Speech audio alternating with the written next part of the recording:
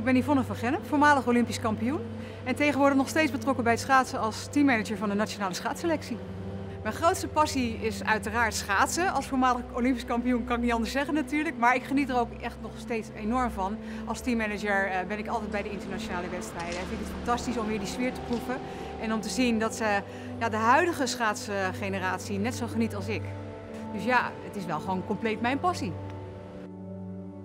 Als een oogaandoening uh, tussen mij en mijn passie schaatsen zou komen te staan, ja, dat zou ik echt heel erg vinden, want dat is gewoon mijn leven. Mijn zuster, die, die uh, kreeg ineens te maken met een spontaan netvlieslaslating. Ja, en dan schrik je je natuurlijk dood, want uh, ja, daar moet je op tijd bij zijn. En eigenlijk was ze er iets te lang mee doorgelopen, waardoor ja, de operatie niet helemaal goed geslaagd is en ze nog steeds beperkt zicht heeft aan één oog. Ik vond het ondergaan van een preventief ooggezondheidsonderzoek ja, best wel spannend, want je weet natuurlijk helemaal niet wat eruit komt. Dus ik ben wel blij dat ik het gedaan heb. Ook als het slecht maar slecht was uh, geweest, ja, dan hoop je natuurlijk dat je er op tijd bij was, zodat je er misschien wel wat aan kan doen. Ik heb een missie. Samen met Specsavers vraag ik aandacht uh, voor het belang van regelmatig oogonderzoek. Want ja, het is eigenlijk best wel raar. Je gaat twee keer per jaar naar de tandarts, maar het blijkt dat mensen maar één keer in de drie jaar misschien een oogonderzoek doen.